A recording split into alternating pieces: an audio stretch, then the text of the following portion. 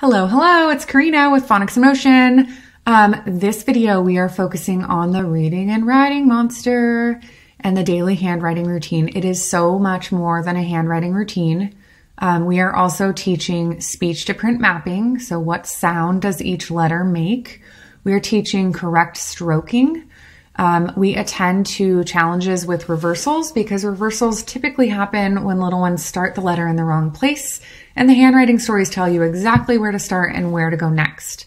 They're very different than handwriting routines in other programs, in that in many other programs, we ask little ones to first understand language about the instructions that we're giving them. For example, go up to the skyline, then go down. What does that mean? You have to think, you have to process in order to figure out what those instructions are, and we take that away.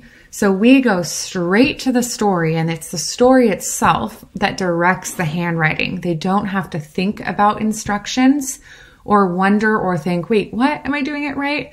They just listen to the story, recite the story, and the story directs their pencil, tells them where to start, where to go next. And that's because the reading and writing monster lives on the left, and the reading and writing monster does not want us to learn how to read and write but we are going to beat it at its game, aren't we? And we are going to move away from the monster and then he pulls us back. And then we move away from the monster and he pulls us back. And that's how we teach directionality in this routine. That when we read and write, we read from left to right and then back to the left and we move to the right and so on and so forth. So the monster's relationship to the stories is that it lives on the left and the language of the story is directly related to its location on the left. So good letters move away as they should from left to right. They move away from the monster and silly letters like S, S is so, so silly, moves toward the monster when we form its letter at the end. You'll also notice that S is so, so silly. There are three exposures to the sound that S makes in that story. We, of course, use the KMP, the motion, to map the sound to the letter, and it is instantly matched with that concrete marker for the learner. That in itself is very, very powerful. So we're developing directionality, stroking, letter ID, and speech to print mapping all in this handwriting routine, which takes just a few minutes a day. We do it all week long one letter per week. Really, really simple. And we are truly developing fluency in handwriting with true muscle memory. So I'm going to let Becky show you the routine where she will start with the letter card. Then she's going to introduce the story of S and who S is to the learner. Then she's going to skywrite it and model it. And then little ones join in. We use the KMP to isolate and identify the sound that the letter makes. And then we have a ton of super fun resources that kids absolutely love, like the handwriting story animation, which reinforces letter ID, sound to symbol mapping, and directionality. Um, we then have interactive activities in the routine where you identify the letter by name, match it to the sound um, using the KMP. Of course, we use that language show me all the time. And then there are many different independent practice materials, monster whiteboards if you have them. Otherwise, you can print out reading and writing monster paper and you demonstrate and model, and then they get to practice, practice, practice, always using the language of the story. We really like to invite them to circle their best um, letter as well and apply their analytical decision making skills so that they can take an interactive role in their own learning and really decide, well, which one do I like best? Save monster paper and use it as an example of progress and really celebrate that growth and success. Phonics in Motion is all about magic and fun. We harness the energy of little ones and we take advantage of it and we truly honor the child. It is magical time every day. The monster is powerful in his magic because kids absolutely love this. You do not have to fight for their attention spans. They use their bodies and they practice and engage with him. when they see letters when they're reading or when you're reading or when you're writing on the language calendar or in the poems, they will say, Oh my gosh, there's S. S is so, so silly. It brings language to life for them. And there is so much power in that. To teach directionality, don't forget to use language like, don't forget to move away from the monster. And that monster pulls you back, but you're going to move away from him, aren't you? We never enter the monster zone. We start next to the monster zone, not in it. If you're new to Phonics in Motion, make sure to go to the Learning Center and learn about how to introduce the reading and writing monster because it is this magic and the fun that makes it so powerful. I do want to mention that we teach with lowercase letters first. When we write, do we write with all uppercase letters? No. So, why does it make sense to teach kiddos uppercase letters first? Let's teach them what they use the vast majority of the time. We totally understand that if you do not have the handwriting stories, it's a lot easier to teach uppercase handwriting first because typically there are fewer strokes and they're just easier to write. But if you have the handwriting stories, you don't need to worry about that anymore because it's really easy and it's really fun. So the magic and the character of the letter is introduced with the lowercase handwriting story. After a couple days of really developing the lowercase, then go ahead and introduce the uppercase handwriting story and use the same routine.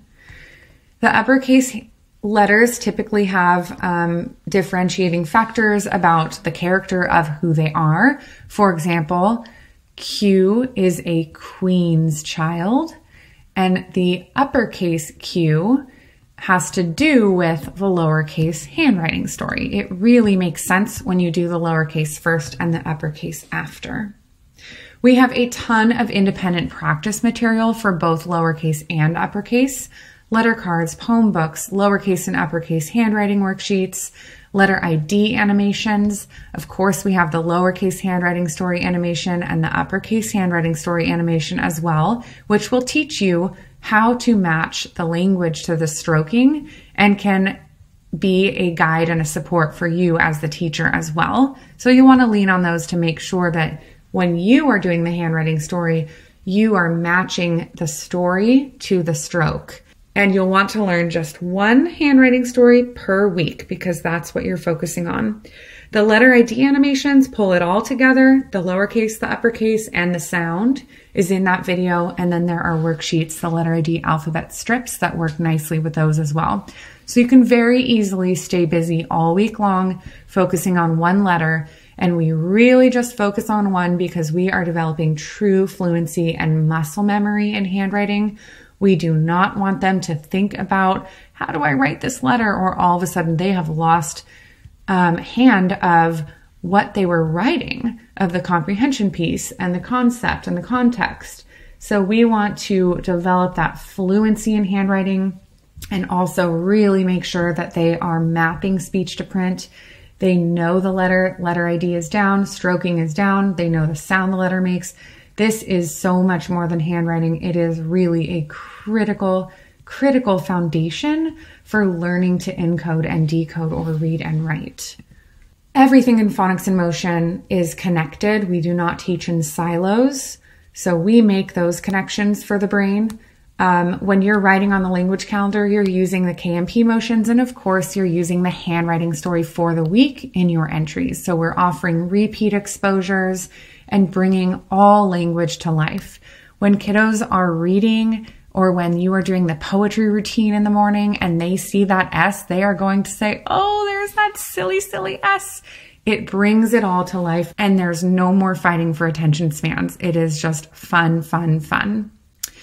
Um, as you already know, everything we do moves from model demonstration toward independent practice. We show it, we explain it, we demonstrate, we think aloud, we talk about it. In skywriting, we model it, and then we invite them to do it with us, and then they can do it on their own. In the literacy routine tab for the reading and writing monster, you will find many materials that we've talked about to develop the handwriting stories. Um, Becky, in her modeled routine, is going to demonstrate how to do sound boxes because we really, really recommend doing sound boxes and blending sounds together along with this handwriting routine um, for connected teaching. So make sure to check that one out. The rest of these are very self explanatory, so we'll save your time. Go ahead and just download them and start incorporating them in your independent practice. Um, and with that, I will hand it over to Becky. And first, I want to thank you for your commitment to sticking to this and doing it for a few minutes every day with one letter a week. The gains that you will see will be so helpful because of your consistency and commitment to doing this. Okay, thank you. Enjoy. Hi, boys and girls. I am so excited to tell you about the story of S today. S is so, so silly. What is S? S is so, so silly. So we're going to learn the handwriting story for S. What letter is this? S. What sound does S make? Show me. S. Okay, so the reason S is so, so silly. Get ready for this. He goes, can you believe it, towards the monster. Then he starts to come away, but he goes right back to that monster. So we're going to chant the handwriting story and we're going to make the letter S in the air. So get your finger ready. I'm going to turn around and we're going to draw S in the air saying the S story. Here we go. S is so, so silly. He goes toward the monster, comes away, and goes right back. How silly is he? Do it with me. Get your finger ready. Do it in the air. S goes towards the monster, comes away, but goes right back to the monster. Now it's time to practice writing S on your monster board. Get out your monster board and remember, on our monster board or a monster paper, here's the monster zone. He is left in the zone. We're going to do our work over here away from his zone. Let's start by making a letter S in the middle of your paper. Find the middle. Say the story with me.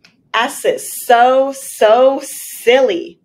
He goes towards the monster. He comes away, but then he goes right back. He is so, so silly. Now let's make one in the corner. Find the right hand corner of your monster board. S is so, so silly. He goes towards the monster, comes away, and goes right back to the monster. Now let's make one on the bottom of your paper. Find a spot on the bottom of your paper. S is so, so silly. He goes towards the monster, comes away, and goes right back. Now find a spot on your monster board you pick, and let's make a big one. I have some space right here. S goes towards the monster, comes away, and then goes back. He is so, so silly. Now let's make a tiny one. Let's make a tiny one near the top. Find the top. Are you ready? S is so, so silly. Make a little one. He goes towards the monster, comes away, and goes back towards the monster. All right. Now take a look at all those S's that you made. Which one do you think you made the best? Circle it. Great job. What letter did we make today? S. What sound does S make? S. S is so, so silly. Great job. Now we're going to listen for some sounds in our sound box. We're going to be listening for three sounds. Here's the reading and writing monster. He is in the zone, and we're going to move away from the monster. Say the word sat. Sat. Show me. S. A. T ah. Now let's write the sounds that we hear. What sound do you hear first in the word sat? Show me. S. S is so, so silly. She goes towards the monster, comes away, but goes right back. What do we hear next? S. Ah. Show me. Ah. A is an acrobat. She goes towards the monster, comes away, and back down. Ta da! S, a, t. What do you hear at the end? T. T is a teenager, up on its tiptoes. S, a. Let's write the word underneath. Ah, sat. Great job.